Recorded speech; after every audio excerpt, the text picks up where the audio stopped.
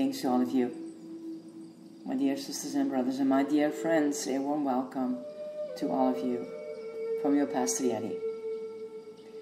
Revealing Jesus today, it is show honor. The same goes for your husbands. Be good husbands to your wives. Honor them, delight in them. First Peter chapter 3 verse 7 and it's the same translation, the message. God's word is both both uh, specific and universal. These words are written specifically to husbands with its such wonderful counsel for all of us. What a different world we would live in if people would fully let their hearts be changed by the love of Jesus Christ. What would happen in our workplaces, in our marriages, our families, our network of friends, our churches, if we would lead a revolution in honoring others, truly delighting in them.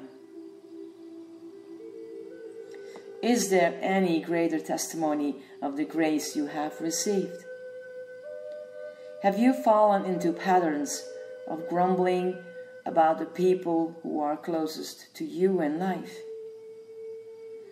Do you see the shortcomings and miss out on the blessings of lifting others up by the way you think and speak of them? Nothing is sadder than to see a married couple that began their life together with such love and enthusiasm too after many years, no longer found joy in each other. Friends, let's be obedient. Even if we don't feel like we are treated with treated with the affection and dignity we deserve. Let's be leaders. Let's be the ones who go to an extra mile with kindness.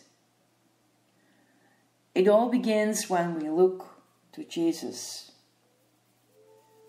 and see how he treats us, even when we far from him and reject him.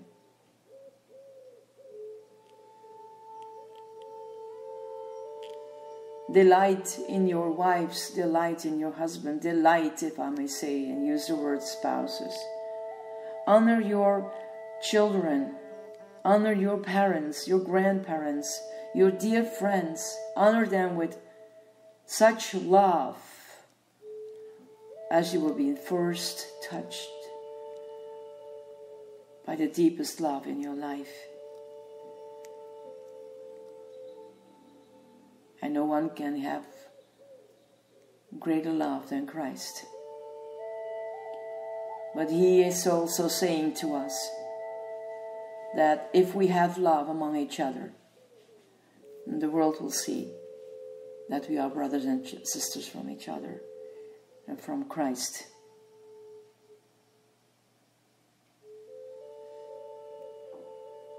My beautiful women, help your spouses my beautiful guys, also help yours. So that new things will happen again between the both of you. Dear friends, consider what kind of relationship you, ha- you have, where it comes from, and how many years. And things can happen because in our humanity, we are so fragile, so fragile. And our ego is sometimes so much in between. Which, yes, that's true.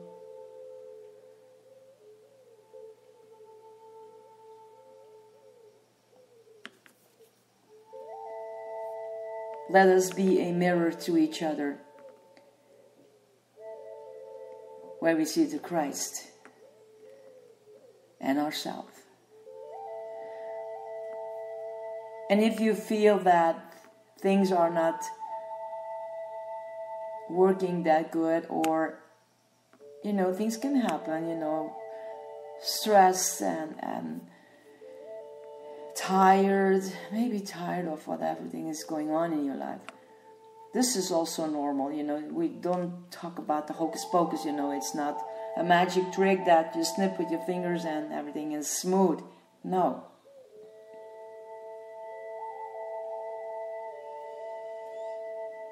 Honor each other my brothers and sisters.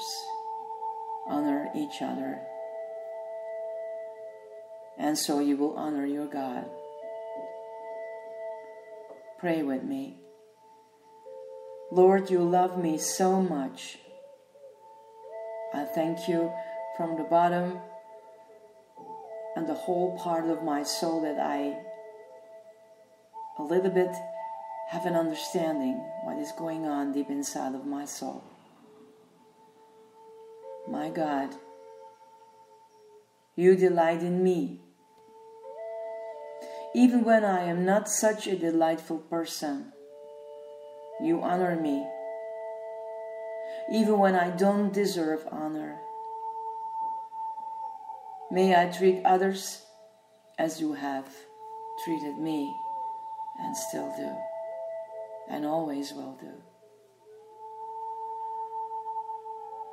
My beloved one, I love you. Amen. And so let that be that part of your day. Maybe this week, maybe a month. This is the Lenten period, a time of devotion, a time of reflection, looking inside of yourself. And take that with you in the blessings that God gives you in your mornings and your noon times and your evenings. Honor, honor, honor and He is worthy to be praised, my dear ones. And let Him bless you and the ones close to your heart, your loved ones.